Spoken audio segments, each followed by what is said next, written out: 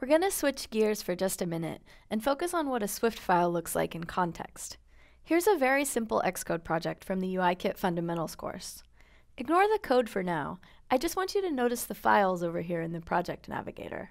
You can see here that there's a .swift file for the app delegate, there's a .swift file for the view controller, and here in the center you see the view viewcontroller.swift file opened.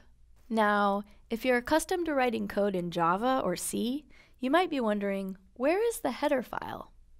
The implementation files and interface files are not separated in Swift. There's just one .swift file in which a class is defined. You might be wondering, if there's not a separate interface file, then how do you know which objects are public and which are private? In Swift, the default access control is internal, which is similar to protected in Java. In general, with simple apps, you can use an object with internal access from anywhere in the app, but not outside the app.